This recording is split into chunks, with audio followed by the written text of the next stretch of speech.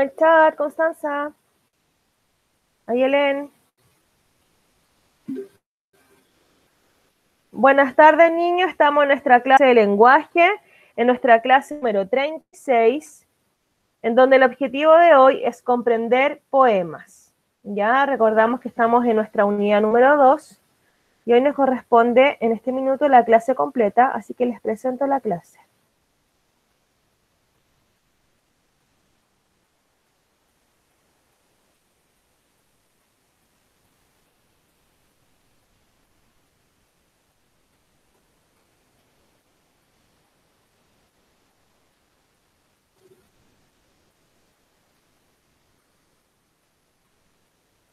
Niños, dejamos el chat y ponemos atención a la presentación.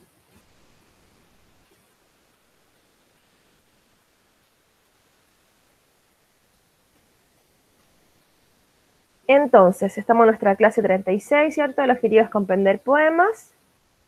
Y vamos a abrir nuestro libro en la página 96, porque antes de leer el poema que vamos a trabajar en esta clase, para trabajar nuestra comprensión, vamos a imaginar, vamos a predecir lo que nos quiere decir el poema. Entonces, dice, hora de leer un poema. Antes de la lectura, la protagonista del texto que leerás en la página 97 a 100 es una niña que tiene una gran imaginación. Para ella, cualquier momento puede ser muy emocionante. Observa la ilustración, miremos la página de al lado, la página 97, miremos el dibujo y vamos a responder de acuerdo a lo que estamos viendo en ese dibujo. ¿Qué crees que estaba haciendo la niña cuando aparecieron los animales? ¿Qué puede estar haciendo la niña? Leyendo. Leyendo puede ser, ya, bien. Número dos, ¿cómo crees que se siente la niña? ¿Cómo, se sentí, ¿Cómo te sentirías tú si vivieras lo mismo? A ver, ¿qué les pasaría si ustedes están ahí sentados leyendo o estudiando o haciendo su tarea y de repente, ¡pum! Animales. Eh, ¿Bien? Sí, un poco asustaría. Un poco asustado y feliz, tranquilo. Yo estaría. Oh. Emocionado. Sorprendido. Sorprendido. Vamos con la 3. Vayan respondiendo ustedes en su, en su libro. Número 3. ¿De qué crees que se tratará el poema que vas a leer? ¿De qué podrá ser mirando solamente la imagen? ¿De qué puede ser el poema? De una niña que imagina cosas que no existen. De una niña que imagina cosas que no existen, ya, bien. ¿De qué otra cosa puede ser? De... De una niña que imagina animales de una niña que imagina animales, ¿ya? ¿Qué más puede ser? Que le gustaría tener una mascota.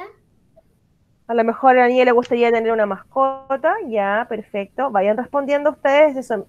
La misma que le están diciendo a la Miss en su libro, ¿ya? Y número cuatro dice que a partir de la siguiente información del autor, ¿qué podrías anticipar acerca del tema de la lectura? Veamos qué nos dice del autor. Quien escribió este poema se llama Francisco Castaño y utiliza el humor, el ingenio y la fantasía, lo que quedan reflejados en los versos que leerás. Entonces, ¿qué podemos decir de qué se va a tratar este poema? Si Francisco Castaño de una fantasía. de una fantasía, ¿ya? Muy bien. Vamos entonces a nuestra página ya completamos el libro y vamos a nuestra página 97. Y vamos a leer entonces.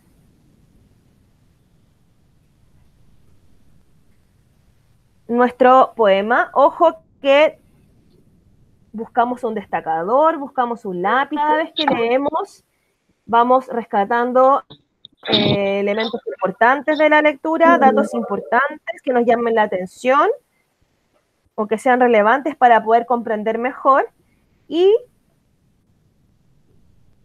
en silencio vamos siguiendo la lectura con nuestro dedito, vamos imaginando y ponemos mucha, mucha atención.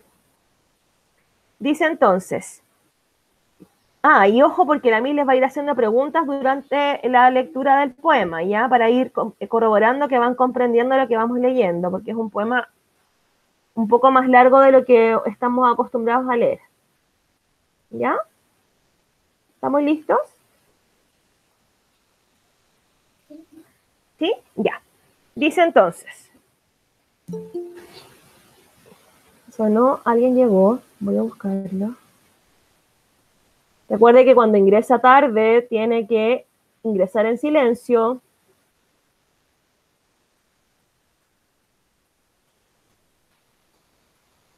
Vamos entonces. Dice, si dejas volar la imaginación, cualquier momento puede ser emocionante. Por ejemplo, puedes viajar a lugares exóticos, recrear las escenas de tus libros favoritos o inventar juegos para pasar la tarde. Te invitamos a revisar la siguiente lectura y dejar volar tu imaginación. Así que nos concentramos en la lectura, seguimos nuestro dedito, vamos destacando y vamos imaginando. Los que vienen ingresando tienen que ingresar en silencio y unirse a lo que ya estamos trabajando. Entonces, un espacio muy personal se llama este poema.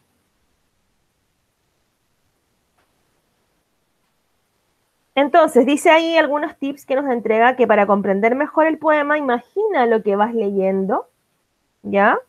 Vamos imaginando, tratando de ponernos, y para eso tenemos que estar concentradísimos, tranquilos, quietos y eh, muy atentos. Vamos entonces. Un espacio muy personal. Está cayendo la tarde, mientras la ciudad se afana en un último trajín antes de ganar la calma. Cecilia hace los deberes bajo la luz de la lámpara. Coge un libro de animales y va diciendo en voz alta sus nombres y sus especies, sus hábitos y sus hábitats. Y como viven sus vidas, cazando o siendo caza, reptando entre la maleza o desplegando sus alas bajo un cielo azul y rojo sobre una tierra escarpada o bajando los abismos de un mar de plácida plata, jugando en las selvas tupidas o en, interminables playas. Como ese sabio cangrejo que apenas sale del agua, da en pensar que todo es según sea la mirada.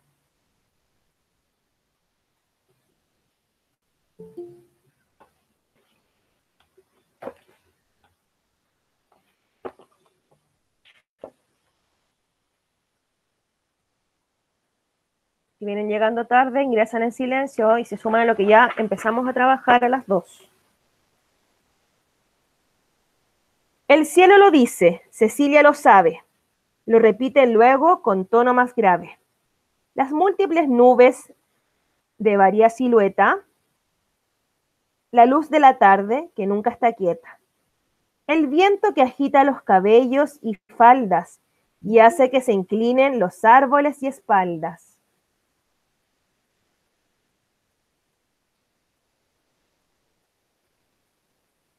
Lo susurra el río que pasa y se queda, y el sol que al ponerse dora la arboleda.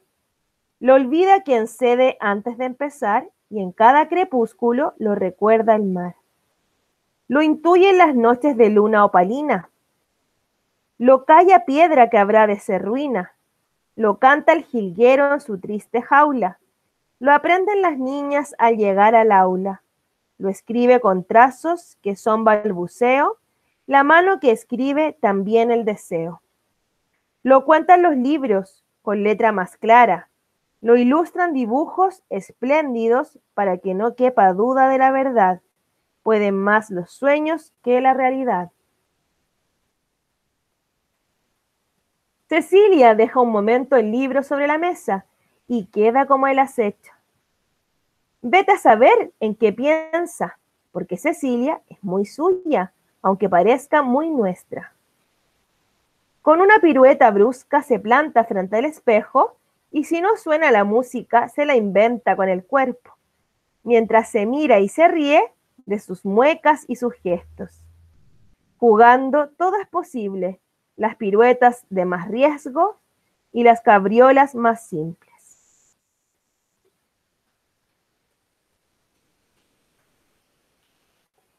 Cecilia ve una sombra en la pared que se achica o se agrada, agranda al alejar o al acercar su mano a la pequeña lámpara. Su rostro se ilumina con sonrisa de triunfo por su hallazgo y sus dedos construyen en el aire bultos y garabatos. Sus manos trazan una sombra enorme a la que un dedo añade una trompa que va marcando el ritmo de un alocado baile. Y Cecilia también baila con ella hasta que cae de sueño el elefante. Ya niños, leímos el poema, entonces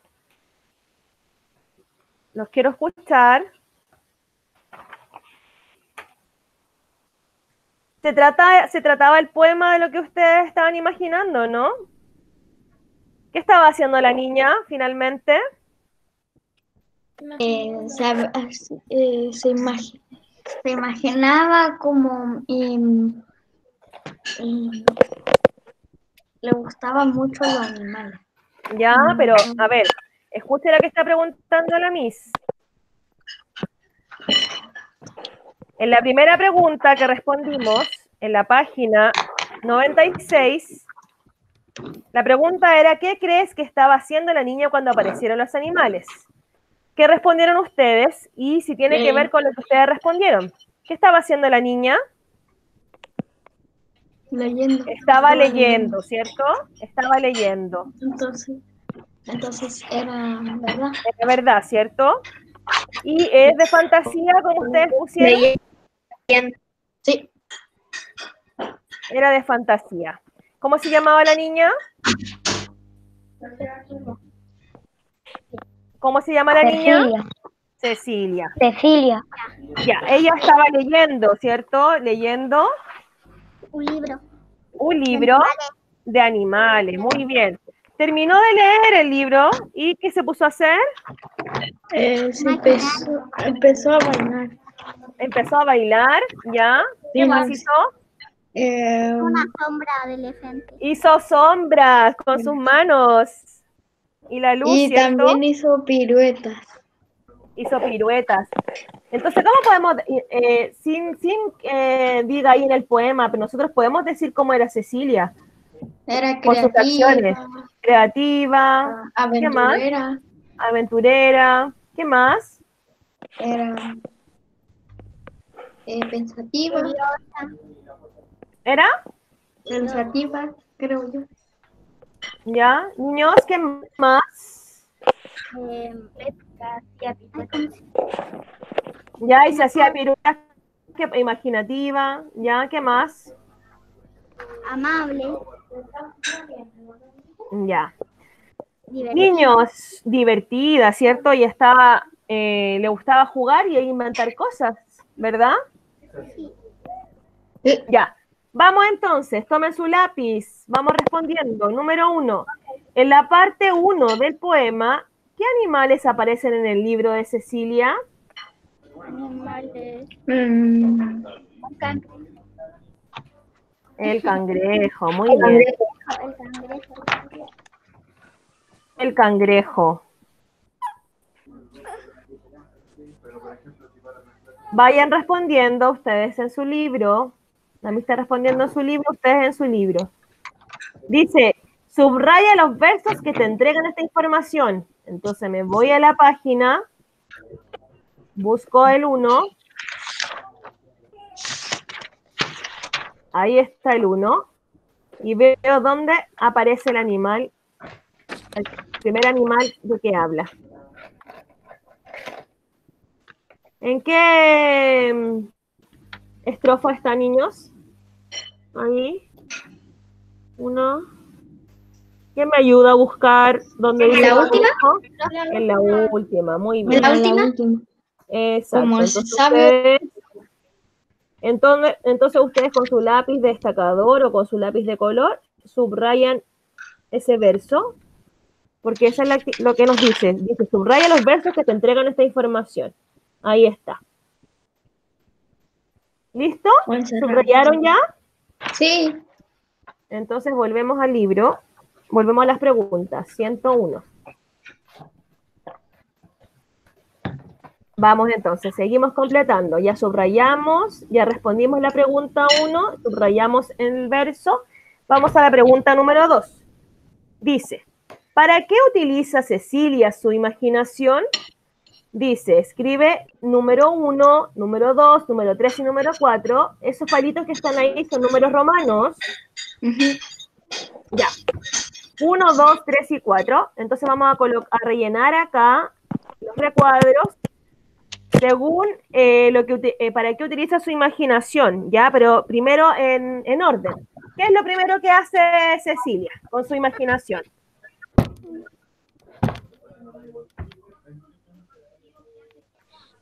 ¿Visita lugares lejanos? Muy bien, Renato. Visita lugares lejanos. Entonces ese tiene el 1. Crea personajes fantásticos. Número 2. ¿Qué hace después? Después de visitar lugares lejanos, ¿qué hace con su imaginación?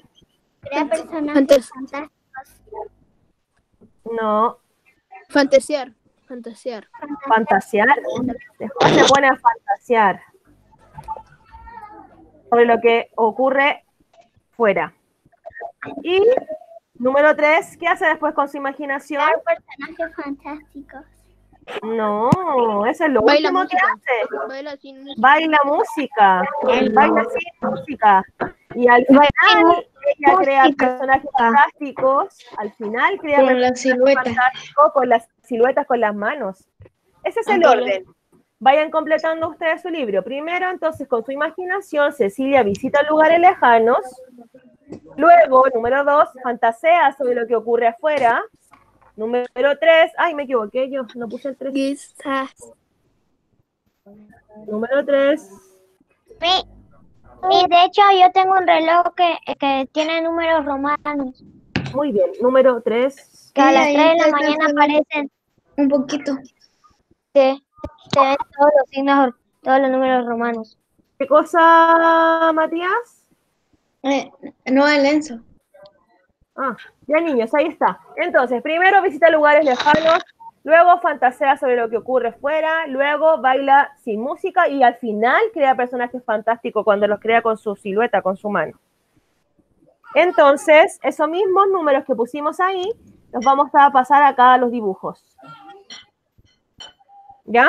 Y vamos a, copiar el verso que representa. Entonces, vamos con esta. Vamos con la primera. Esta es la última, ¿cierto? Crear personajes fantásticos. ¿Sí o no? En la 4. Es la 4. Niño, no lo escucho. Y ahora tenemos que copiar acá el verso en donde ella está haciendo eso. ¿Me lo, me lo leen ustedes? ¿Me lo dicen? ¿Me lo dictan? Para que yo lo copie. Crea No. personaje. No, no tengo que copiar esto, tengo que copiar el verso. Así que tengo que ir al poema y copiar el verso. Ustedes búsquenlo y me lo dictan. Cecilia ve una sombra en la pared. La chica se agrada.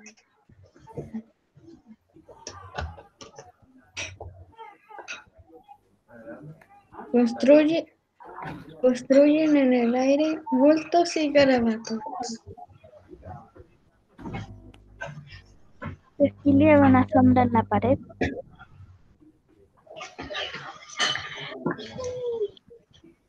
No, ella ya está haciendo algo Y en sus la... dedos construyen en el aire bultos y garabatos. Tus manos trazan una sombra enorme. sus manos trazan una sombra enorme. Ahí está el verso. Muy bien.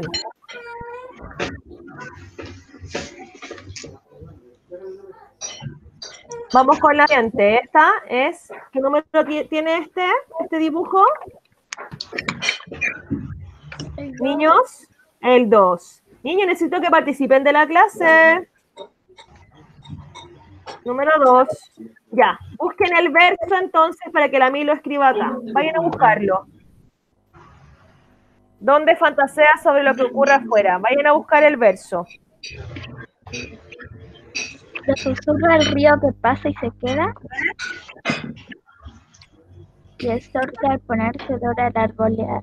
Estoy viendo el texto. A ver. Vuelva al poema. Vaya a buscar el que mejor represente lo que está imaginando ella desde afuera. Mm, eh, el cielo. A ver. Déjame ver. A ver. Mire el cielo, o sea, mire el cielo. Mira, ya, le- ya les di una pista. Mire la ventana, lo que está mirando. ¿Cuál es el mejor verso?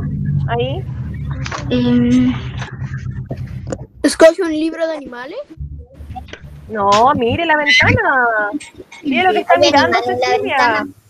No, no veo ningún animal en la ventana. ¿Qué está haciendo? una ventana. A ver. Mira la ventana y se ve como cosas amarillas más, más arriba. ¿Ya? Vaya a buscarlo al, al poema. el río. No, no veo ningún río yo ahí por la ventana. Em, Dígame. Dice, bajo cielo azul y rojo, ¿Cómo? bajo un cielo azul y rojo, el cielo. Espera.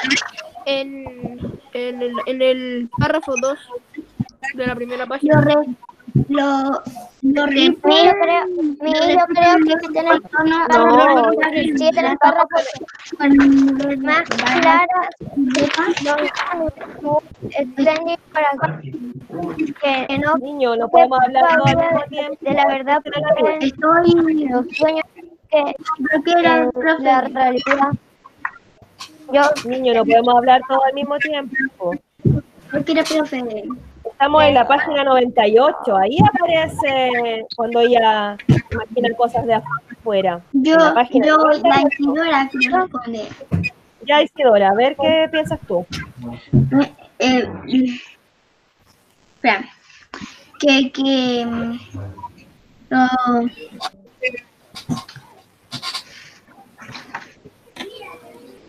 que va. Está mirando. No silencie a la compañera que está dando la respuesta. Gracias. Isidora, te escucho. Isidora, te escucho. Ya, ahora. Que está viendo. Isidora, te escucho. Que está, está viendo el libro. eh, con la ventana. Ya, pero ella está Eh, mirando a la ventana. ¿Qué está haciendo ahí en la Ah. ventana? ¿Imaginando qué? Imaginando que el cielo de- le dice Cecilia, ¿lo sabe? No, que. está Ya, por ahí está. Ah, no, que, está. las nubes son tortugas, que son Eso, animales. Ahí está. Entonces, el verso es, díctemelo, las múltiples Las, mm, las múltiples nubes nubes de, transforman en animales. no, el verso que está escrito ahí, de varia silueta. Eso. Y está imaginando animales en las nubes.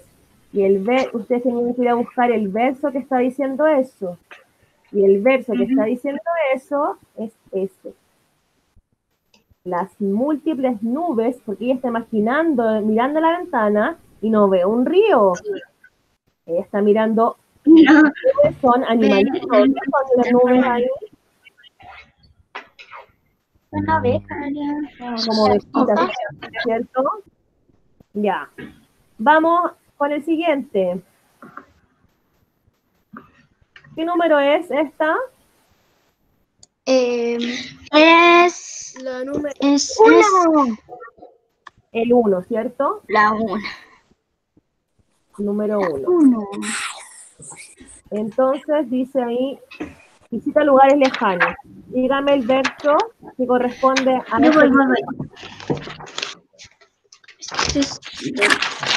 Vaya al poema y busque. Eso tiene que estar al principio porque es la 1. Aquí está. A ver. Díctelo. Cecilia ¿Cuál sería el debe bajo la luz del libro coge un libro. Eso, Está bien el. Matías, Matías Peralta, díctamelo. Está. Cecilia hace los deberes bajo la No. luz de la lámpara. No, no, no, no, tú me leíste otra cosa. Coge un libro de animales. Coge un libro de animales y va diciendo voz alta sus nombres y especies y sus hábitos y habitantes.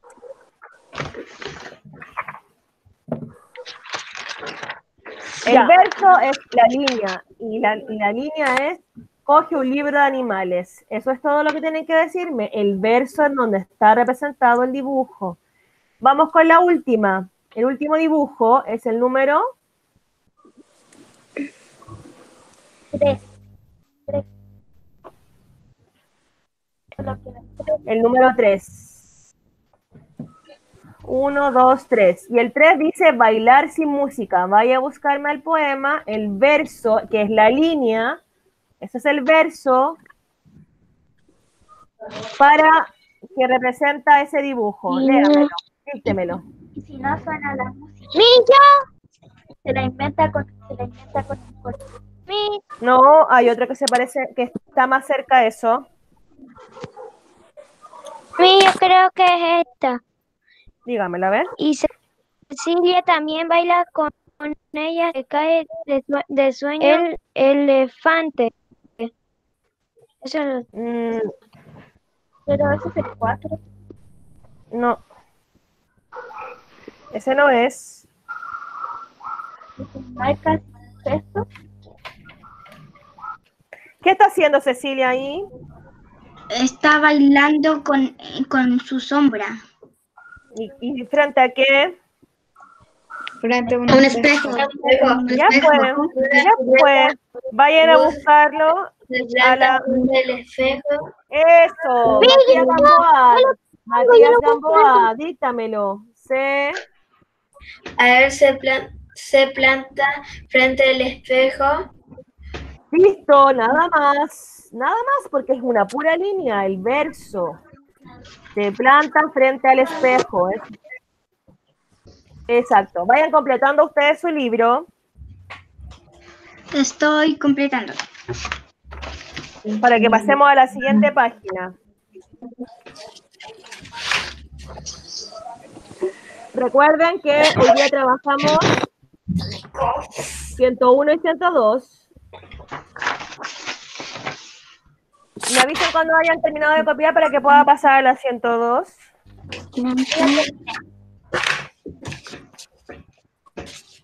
Frente al espejo.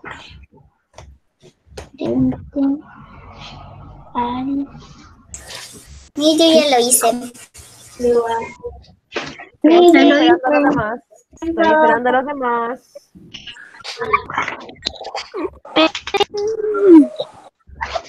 Caigo en coma. brr, La ola berraca. Lo que brr. Miss, yo ya lo hice. Sí, estoy esperando. La Miss está esperando. Tranquilidad.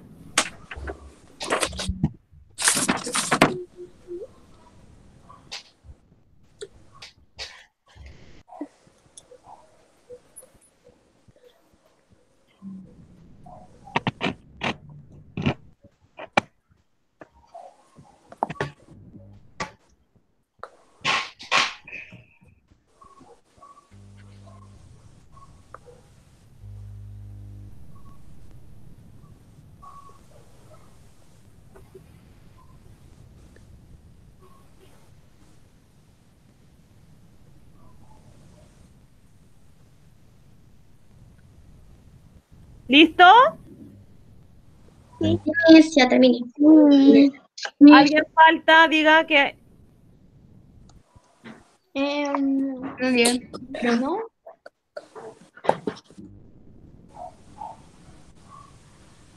¿Estamos?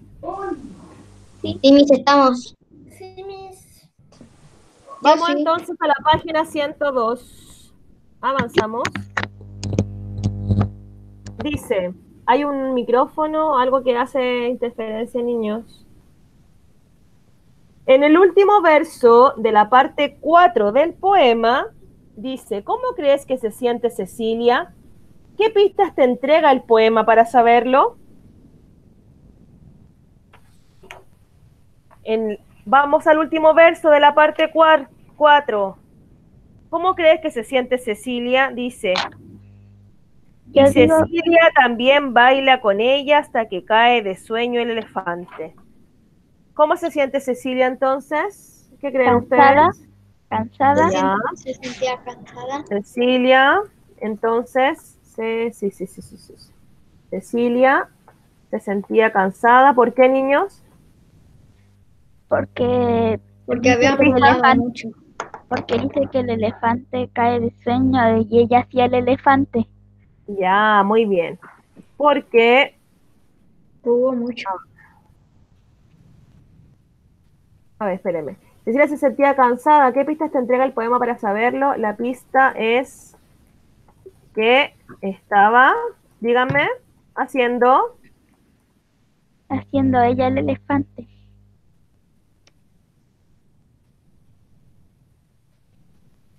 Y dice que el elefante cae de sueño.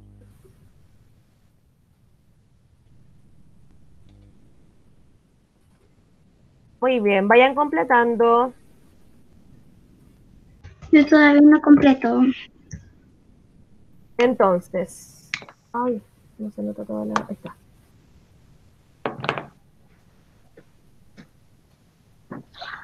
Entonces, Cecilia se sentía cansada. La pista es que estaba haciendo un elefante y dice que el elefante cae de sueño. ¿Está bien? Sí. Ya. Vaya respondiendo su libro.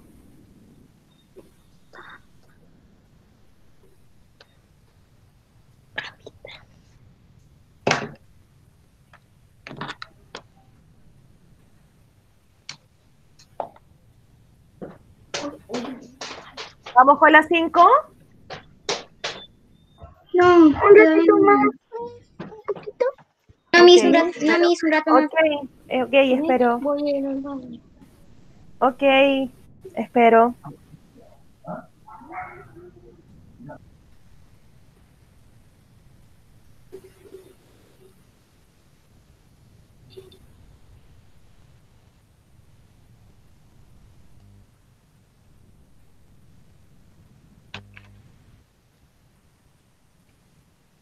Ya, mis. Ya. Vamos entonces con la 5. Dice. Según el poema, ¿cómo describiría la personalidad de Cecilia? Puedes usar alguna de las siguientes palabras. Ahí hay hartas palabras que podemos usar acá. Entonces, díganme ustedes, ¿cómo es Cecilia? Ocupando palabras que están ahí. Fantasiosa, Espérenme. Cecilia. yo creo que creativa, Miss. es Eh, inquieta. porque, Fantasiosa, porque creativa. ¿Qué más? inquieta, Inquieta. ¿Algo más que agregar? impredecible. Curiosa. En un Sí, momento curiosa. estaba haciendo la tarea y después ya estaba bailando. Sí, también puede ser. Dejémoslo así. Cecilia es fantasiosa, creativa, inquieta y curiosa. Yo creo que esas, lo describe. esas cuatro, ¿cierto? La describen más. Vayan completando ustedes su libro. Y vamos con la seis. La seis dice, dibuja.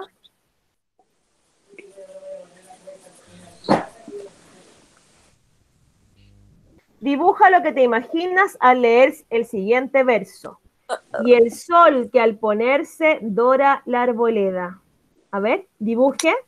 Y el sol que al ponerse dora la arboleda. Tienen que dibujar, inmediatamente vuelvo a ustedes, dibujar y luego las preguntas que están ahí en las 7 las vamos a compartir, ¿ya? una reflexión. Las vamos a comentar para que vayan pensando sus respuestas. ¿Qué será arboleda? Eh, ¿De qué como parte- de qué árbol. viene? Árboles, una arboleda. ¿Muchos árboles? Es una calle llena de árboles. Un lugar lleno de árboles juntitos así. Eso es la arboleda, como un bosque. como un bosque. Y el sol que al ponerse dora la arboleda. Hagan su dibujo para que luego reflexionemos con las, con las preguntas que están a continuación. ¿puede repetir Repetir qué. Dora la arboleda que no entendí bien? Tienen que Porque, dibujar el verso. Y el sol que al ponerse dora la arboleda. ¿pero qué es arboleda? Arboleda, eh, árboles. Muchos árboles Árboles juntos. juntitos. Juntitos. Gracias, Miss. Ya, voy para allá.